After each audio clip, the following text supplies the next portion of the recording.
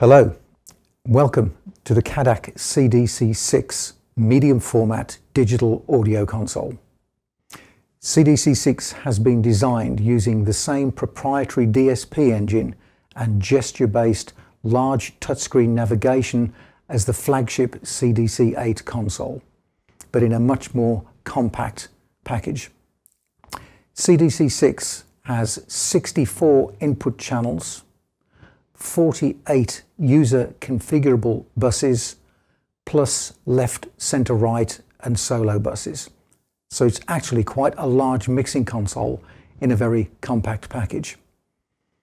As well as the standard I.O., each CDC6 ships with a 64 in, 64 out Waves SoundGrid interface, which can be used for virtual sound check, live multi-track recording, or using your favorite plugins as inserts on inputs, outputs, or as effects, sends and returns.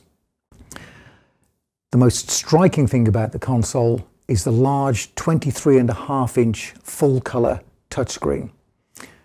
We have a lot of information available for the touchscreen at any one glance, and it's very easy to just move along to the area of the console which is of any particular interest to you.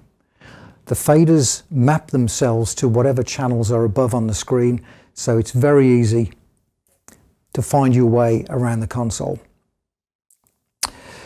As an alternative way of navigation, there are also four input layers of faders, all of which are user configurable layers.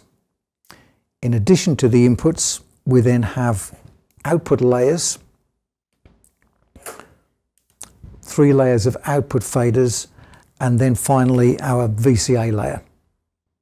CDC6 has 16 VCA groups, and these are also used as another method of navigation as well as control, and we'll look at that a little later in the presentation.